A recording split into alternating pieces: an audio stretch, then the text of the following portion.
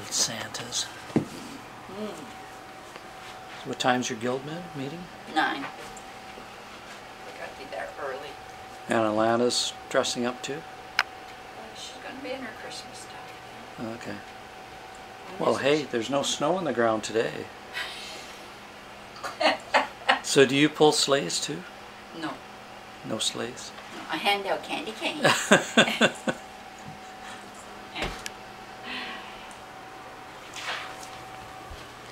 a little bit of Texas there. Oh yeah, right.